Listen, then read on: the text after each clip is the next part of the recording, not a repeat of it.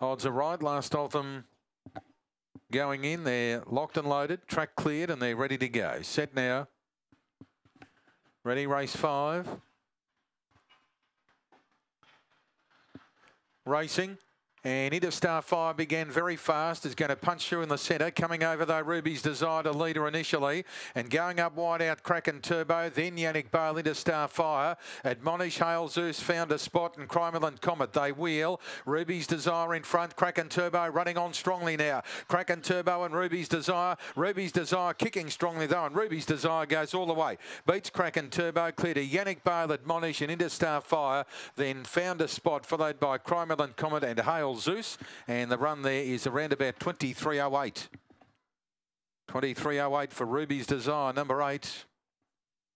Heavily back conveyance, number eight, Ruby's Desire, wins again, makes it two in a row. After winning at Warrnambool, beating Desmonde last Thursday. And she makes it two in a row, number eight, Ruby's Desire. Well tried conveyance, wins the fifth. Beats six Kraken Turbo, one Yannick.